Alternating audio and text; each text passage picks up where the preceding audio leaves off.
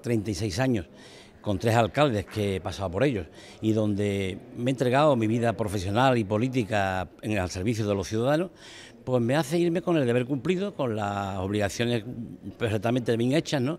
Y saber que no he parado en ningún momento, ni un solo ápice de mi tiempo de vida, en detrimento de mi familia, de mis hijos, como es lógico, pero sí en detrimento de que mi vida profesional también la, muchas veces la he maltratado, con comillas, como consecuencia de estar dedicada a la vida pública. Ya llegó un momento en que yo decidí no continuar más y, lógicamente, pues esa decisión ha sido inalterable para mí, ¿no?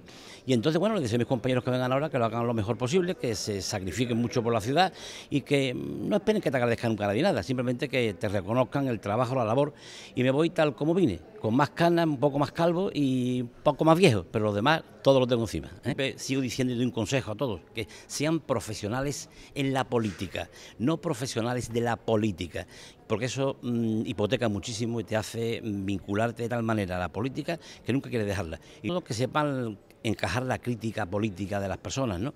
Hoy estamos en un momento muy difícil y la verdad que ser visto como político a veces está muy mal visto, ¿no? y eso sí lo he notado yo. Pero bueno, yo creo que lo bueno es ser y trabajar por la ciudad, mm, poner los intereses generales